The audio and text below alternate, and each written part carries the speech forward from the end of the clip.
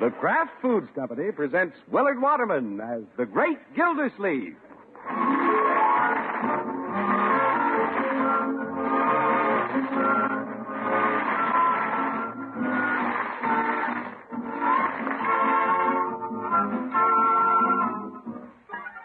The Great Gildersleeve is brought to you, partially transcribed, by the Kraft Foods Company. Kraft, makers of the one and only Miracle Whip salad dressing. We say one and only because there just isn't any other salad dressing like Miracle Whip. Miracle Whip is different, and it tastes different.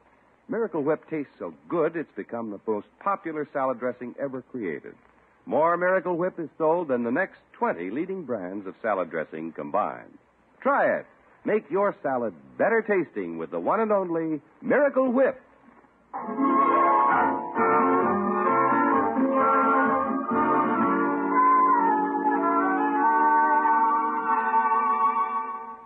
According to an old song, every cloud has a silver lining. In the life of the great Gildersleeve, the cloud is his bad tempered neighbor across the street, Rumson Bullard. But the silver lining is Bullard's attractive sister, Paula Winthrop. This evening, the water commissioner took Paula to a movie, and now, in the late, quiet hours, the great man is bringing his lady home. Hmm, it's after midnight, Throckmorton. Oh, that was a long double feature. Yeah. I'll park here in your driveway behind your brother's car. Oh, why didn't you just park in front of the house?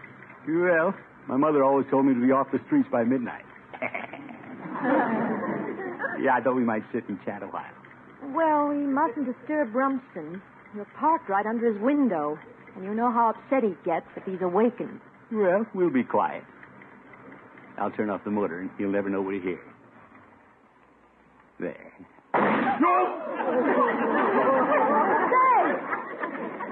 Backfire. The water department will have to stop watering the gasoline. I, I think I'd better go in the house, Throckmorton. Paula, please. It's such a beautiful night. Mm, well, It's the witching hour. Look at the romantic sky. If we stay here long enough, I may see a star fall and get a little wish.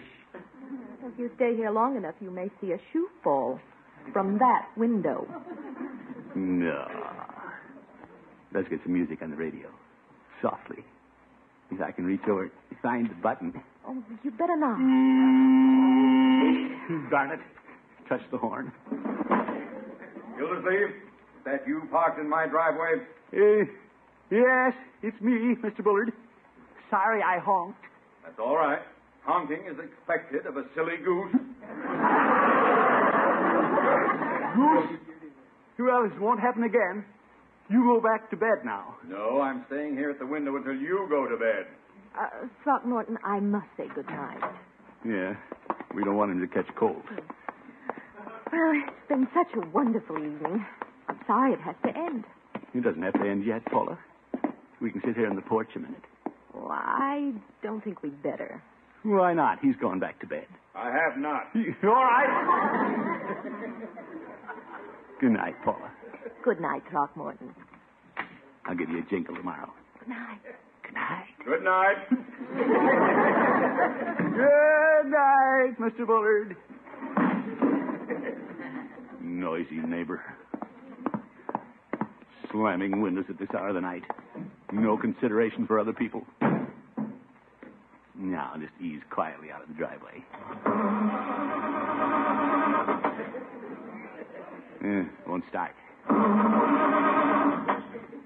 This car's giving me a lot of trouble. Darn car. Gildersleeve, Yes, Mr. Bullard? what are you doing now? Mixing concrete? You know, I'm just trying to get my concrete. Yeah, I mean my car started. Gildersleeve, there's a geranium pot here on my windowsill. Oh? I'll give you ten to get across the street. Let me out of this car. Now, see here, Bullard. You aren't going to frighten me. One, two, I have no intention of running across the street. three, four, five. Bullard, don't you throw that! Six, seven, eight,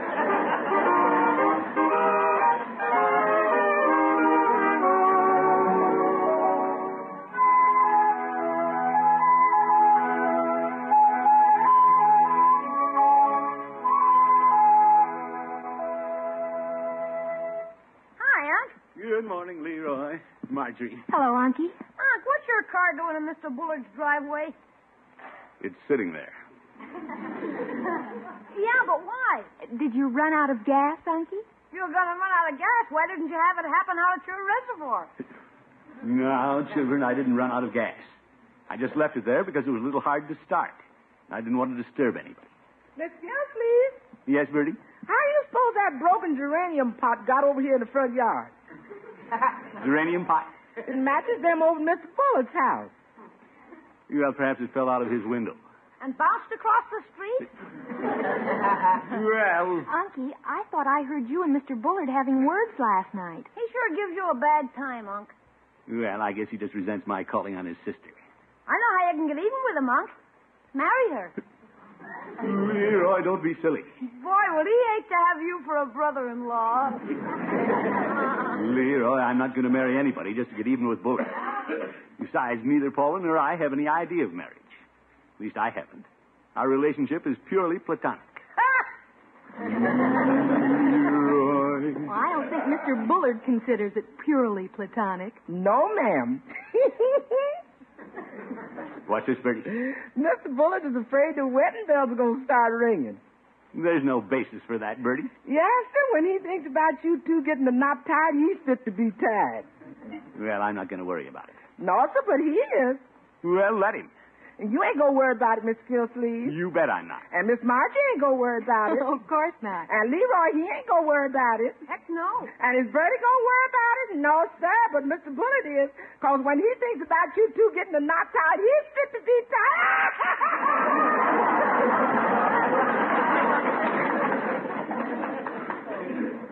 Yes, yes. Well, I'd better go get my car out of Bullard's driveway. Oh, uh, by the way, Unky, when you go to town, would you mind taking my engagement ring to the jeweler's? Your engagement ring? What are you and Bronco gonna do? Hock it to build your house? No, Leroy. The stone's a little loose in the setting, Unky. Will you have it tightened? Sure. I'll take it to that fellow next door to Peavy. He'll fix it in a jiffy. Hey, Unc, Mr. Bullard's trying to get his car out, and you're blocking his driveway. Oh? Well, good for me. Gosh, listen to that. Aren't you going to do something, Unky? Oh, let him honk, the big goose. now, what's he trying to do? I think he's trying to run right over your car. He's pushing you out into the street, Unky. Well, by George, I'll put a stop to that. Let him go, Unc. Your old car will cut his to ribbons. Leroy, you're talking about our family car. Bullard, what do you think you're doing? It's can day, Gildersleeve, and I'm pushing one out into the street. Don't take that off him, Unc. He's talking about our family car. Bullard, where are you pushing my car? I'm pushing it up on your lawn unless you get in and steer it. Yeah, all right, I'll get in. But watch it. Are you ready, Gildersleeve? You're all set. Easy does it.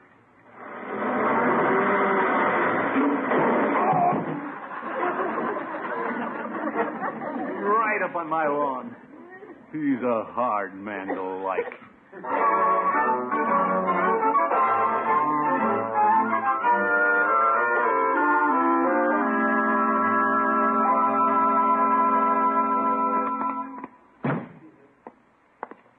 I'm late at the office, but I'd better leave Marjorie's ring at the jeweler's. He... Not open yet. It was 9.30. Who does he think he is? Tiffany's? Well, I'll go next door to Peavy's and wait until he opens. Hello, Peavy. hello, Mr. Gildersleeve. what can I do for you this morning? You can fix me a Coke, Peavy. Yeah. I'm a little thirsty. Excuse me for mentioning it, Mr. Gildersleeve, but you've got your makeup on crooked this morning. Makeup? Look in the mirror. Oh, car grease on my nose. Getting nosy on cars, are you? I had a little trouble starting mine, Peavy. I had a little trouble with Rumson Bullard, too. He pushed me right off the sidewalk. Well, why didn't you push him back? Right, George. If I could have got going, I'd have smacked him back all right. Left me sitting right on the lawn. You don't say. Knocked off my bumper guard. My, my, I didn't know you wore a bumper. I'm talking about the car, and you know it. I'd leave my car parked in his driveway. Hmm, he wouldn't like that. Peavy, I had a date with his sister last night. he wouldn't like that either. Well, I don't care whether he likes it or not. What Paula and I do is none of his business. And I told him so. And he left you sitting on the lawn. Be all right, Peavy. Let's drop the subject. From now on, Bullard can go his way, and Paula and I will go ours. Well, you better get ready to go one way or the other. What's this, Peavy? I see Mr. Bullard pulling up out front, parking right behind you. Yelfer. I'm in no mood to bump into him again this morning. I might lose my temper. Hmm, is that bad? The pharmacy has bandages, iodine, some club steaks behind the lunch counter for black eye. That'll do, Peavy. Here, do me a favor. Hmm, no. When the jeweler next door opens, give him this ring. I want the setting tightened. What kind of ring is it, Mr. Gildersleeve? It's an engagement ring. What does it look like? It looks like an engagement ring. Yes. Yeah, I have to run now. Oh. You again. Yeah. And you again. Good, uh, good morning, Peavy. Well, hello, Mr. Bullard. Peavy, give me a pound of my pipe tobacco and a carton of... What's this? A diamond ring? An engagement ring? You mean you've started selling engagement rings? No, that belongs to Mr. Gildersleeve. It does? He asked me to give it to the jeweler next door. Seems he wants the stone tightened. Oh, let me see that ring. Well, handle it carefully, Mr. Bullard. Those things are expensive. I know, I know. It's loose, all right. I'll bet this is the same ring Gildersleeve has been offering girls for the past 20 years. Could, could be. Mr. Gildersleeve has been eligible a long time. Well, he's not eligible around my house. Peavy, did he say who he's giving it to? No, he didn't. Did he mention my sister Paula? Yes, he did. Oh, no. What did he say, Peavy? Well, I guess it's no secret. He said you could go your way, and he and your sister would go theirs. Oh. Oh, did he? Why, that wall-eyed water buffalo. He can't give her an engagement ring. He can't marry my sister. Well, no, I wouldn't say that.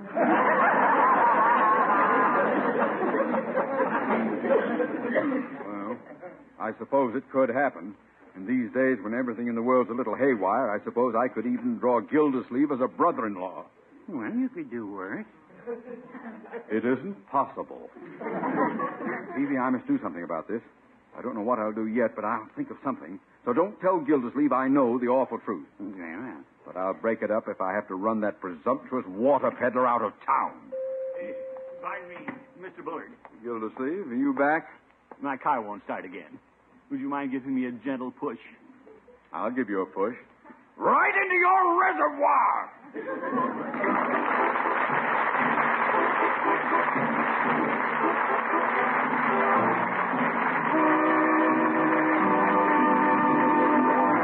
The Great Gildersleeve will be back in just a minute. Here's an idea for an attractive, colorful salad your family will greet with enthusiasm. Arrange chilled orange and grapefruit sections, pinwheel style, on a bed of crispy lettuce. Put a bright red maraschino cherry in the center of the pinwheel, and, this is important, serve with Miracle Whip salad dressing. Miracle Whip will give that salad an irresistible flavor. Yes, Miracle Whip is delicious. It has a flavor that's lively and teasing, a flavor that most folks call just exactly right. And it's a flavor you won't find in any other salad dressing because Miracle Whip is actually a different kind of salad dressing. Miracle Whip is made from a secret Kraft recipe that combines the very best qualities of old fashioned boiled dressing and fine mayonnaise. And Kraft blends Miracle Whip a very special way to give this salad dressing perfect satin smoothness. Treat your family to colorful, attractive salads often and make them more delicious than ever with America's favorite salad dressing, Miracle Whip. Get a jar tomorrow. There's only one Miracle Whip salad dressing, and it's made only by Kraft. Be sure you see the name Miracle Whip on the jar you buy.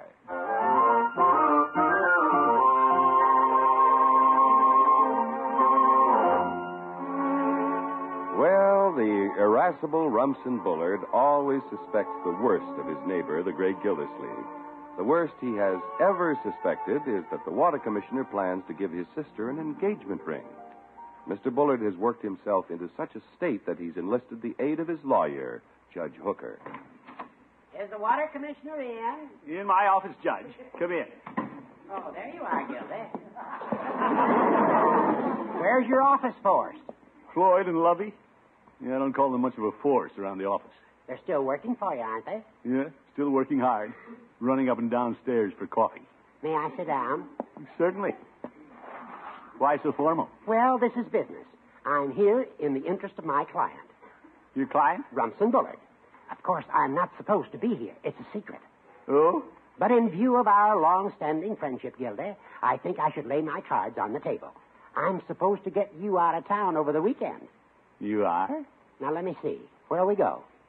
How about driving up to Half Moon Lake and fishing for perch through the ice? Two glorious days. What a weekend. Sitting on the ice, waiting for a perch to bite. no, thanks, Judge. I'm not interested. I have a date with Paula Saturday night. She's taking me out to her country club. Well, if you prefer Paula to a perch. You bet I did. Where'd you get this silly idea? From my client, Rumson Bullard. You, my goodness. What's Bullard up to now? To be candid, Gildy, he's trying to keep you away from his sister. You mean he's worried about Paula and me? He saw the engagement ring you left at Peavy's, Gildy. That ring? Yeah.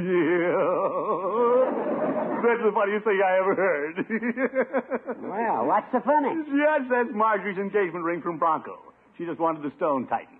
Oh, so that's it. Well, I better go tell Rumson he has nothing to worry about. Judge, don't you dare. What? If Bullard thinks I'm going to give that ring to Paula, let him think so. Let him worry. But Gildy. If Bullard thinks it'll serve him right, just let him stew. This, that's the best thing.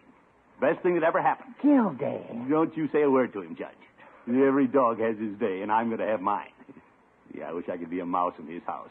Watch old Stoneface cry. Excuse me, Judge. Your water department, Gildersleeve speaking. Throckmorton? You, Paula? Is that Paula? Quiet, Judge. Uh, Throckmorton, would you mind terribly if we postponed our date for Saturday night? Postponed our date? What happened, Gildy? Quiet, you old goat. Anything wrong, Paula? Well, I really don't know. Rumson is acting very strangely. He's insisting that I leave town. You?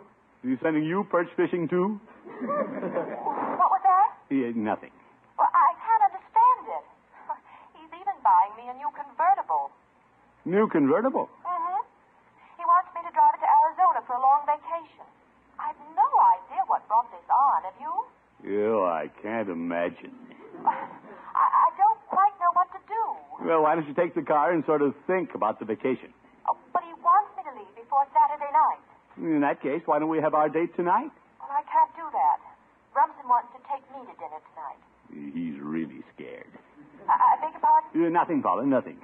Look, why don't you tell him I insist on coming over early, before dinner? Tell him I have a little present for you. A present? Yeah, That's right. Be sure and tell him that. I'll be over about five o'clock. All right, five o'clock. See you then. Bye. Goodbye. Well, what are you looking so pleased about? Yeah, I've got Bullard on the run this time. He's shaking in his boots, buying Paula a new car, sending her off to Arizona, taking her out to dinner. You wait till she tells him that I'm coming over at five o'clock with a present. You'll think it's the ring. That'll be the last straw. Gildy, you're playing with fire. Don't worry, Judge. When the time comes, I can turn on the water.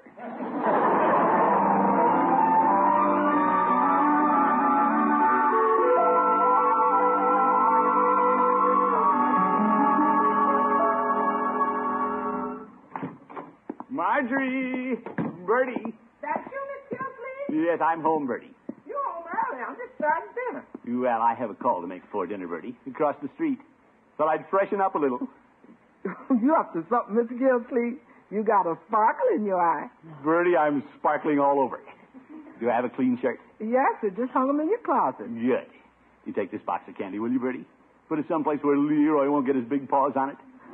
Oh, Valentine candy. Ain't that something?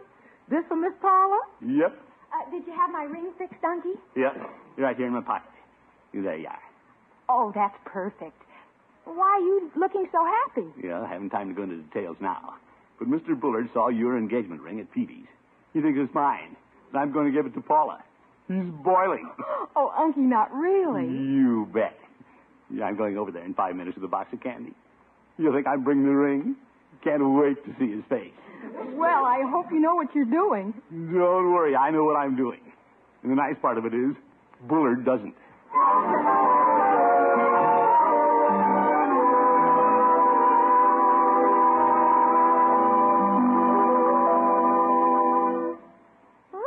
How do I look, Rumson? What?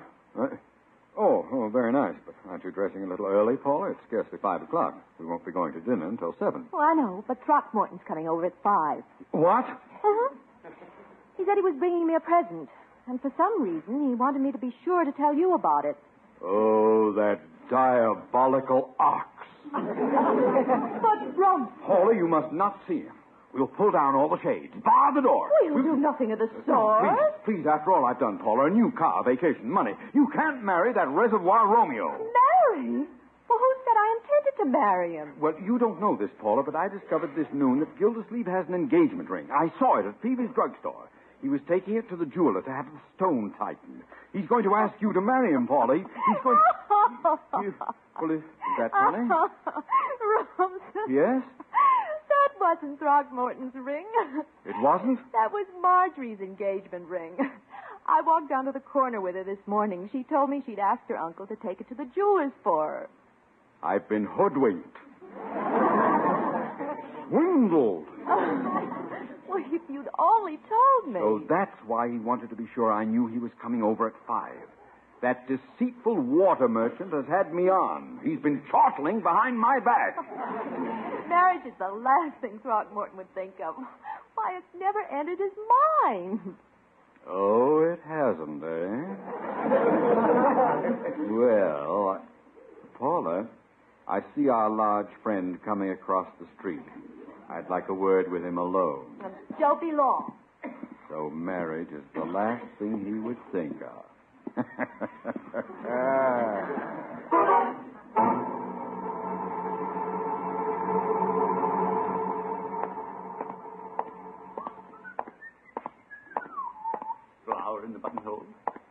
Valentine candy. If I don't look like a man coming to propose, I never saw one. yeah, maybe this is a mean trick to play on Bullard. But he has it coming. I'll scare the daylights out of him. I hope he answers the door. I'll bet his face will be purple. well, Gildersleeve. Bullard? Don't you recognize your old neighbor? Your old friend? Yeah. Yes. Sure. Well, come in, come in. Thanks. Something's wrong. He's smiling. Come in and sit down, Gildersleeve. Have a cigar? Uh, yes. Thank you. The reason I came over, Mr. Bullard, I have a present for your sister. I've heard all about it, Gildersleeve. Congratulations. Congratulations. News travels fast, you know. Oh, I suppose you thought I'd rant and rave, object violently. But I'm afraid you misjudged me, Gildersleeve. I'm a sentimental man at heart. Well, When I learned that you were bringing my sister a ring, all the little difficulties and misunderstandings you and I have had in the past melted away. When Cupid pierced your heart with his little arrow, a few shining splinters lodged in mine, too. yes, but Of course, I'm Paula's older brother, and according to custom, you should ask my permission. but Mr. Bullard. You have my permission. Oh, brother. Mr. Bullard. Uh, you and Paula are now engaged. There has been a tradition in our family, Gildersleeve. When a man makes it known that he has a ring for one of the Bullard girls, he has then declared himself. Yes, but yeah, I mean, yeah, I didn't. The pact has been made. There is no turning back. It is the law of the clan. The clan? The Bullards guard our women with primitive jealousy. You do? At one time, long ago, some worthless scoundrel let it be known about that he had a ring which he intended to give to one of the sweet, trusting Bullard girls. Oh, Then he tried to back out, claimed the ring was not his, that it belonged to some relative. Can you imagine any man low enough to do a thing like that? Zeke. Uh, he met with a fatal accident the next day. He fell into a loom and was woven to death. Oh, my goodness. Mr. Bullard. Yeah? Mr. Bullard? Yeah? You see, well, you see, yeah, Peavy's. That ring. Uh, your ring? You, Alice. Oh, how did I ever get into this? How am I ever going to get out of it? Uh, speak up, Gildersleeve. Well, Bullard, you see, I. Well, who's that at the door? Come in. Hey, Mr. Bullard, is Aunt here? Yeah, I'm here, Leroy. What is it? You know Marge's ring you took to the jeweler's? Yes, yes. She says the stone's loose. She'll have to take it back again in the morning. Oh, bless you, Leroy. You see, Bullard, that was the ring. He was Marjorie's. All this engagement talk was your own idea. What? No, no, no, wait. Gildersleeve, just a minute. Just a minute. Hello, Throckmorton. Hello, Paula. Come on. I want to take you for a ride in my new car. Love to. But I bought that car. Paula, Gildersleeve. Leroy, give Mr. Bullard a piece of the Valentine candy. Okay. Hold on! I won't tolerate this! You come back here, Gildersleeve! You come back! Gildersleeve, come back here! Come back here!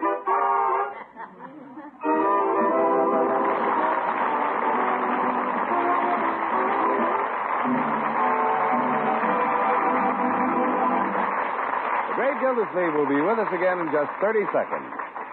For the best tasting sandwiches you've ever made, don't forget the Miracle Whip. Smooth, delicious Miracle Whip salad dressing adds a truly wonderful flavor to sandwiches. A flavor that's lively, teasing, and just peppy enough. Miracle Whip is perfectly smooth, wonderful for spreading. Get a jar of Miracle Whip salad dressing tomorrow. For delicious sandwiches and for outstanding salads, use America's favorite salad dressing, the one and only Miracle Whip.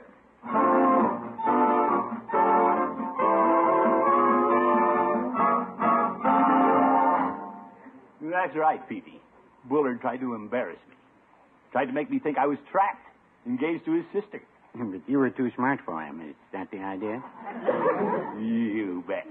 Before he even had a chance to put the pressure on me, I very cleverly turned the tables on him. You don't say.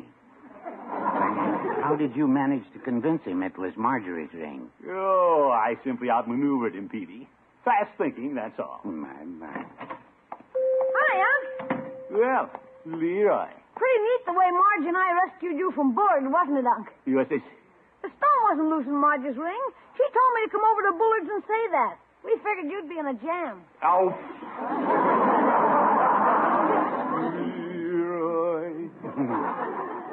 Tell the story again, Mr. Gildersleeve. Oh, go jump in the lake, Peavy. Good night, folks. The Great Gildersleeve is played by Willard Waterman. The show is written by John Elliott and Andy White and is partially transcribed. Included in the cast are Walter Tetley, Mary Lee Robb, Lillian Randolph, Gale Gordon, Gene Bates, Earle Ross, and Dick LeGrand. Musical compositions by Jack Meakin. This is John Heaston saying goodnight for the Kraft Foods Company, makers of the famous line of Kraft quality food products. Be sure to listen in next Wednesday and every Wednesday for the further adventures of the Great Gildersleeve. Done up just right, a delicious hamburger can be truly a gourmet's delight, a big deal in eating pleasure. Of course, just about every good cook knows that a dash of Kraft prepared mustard really makes a hamburger. Because when you add a little mustard, you add a lot of tang. Kraft mustard, naturally. There are two kinds of Kraft prepared mustard mild Kraft mustard, if you like it smooth and delicately spiced, snappy Kraft mustard with horseradish added if you like it nippy. Get both kinds of Kraft prepared mustard at your food store.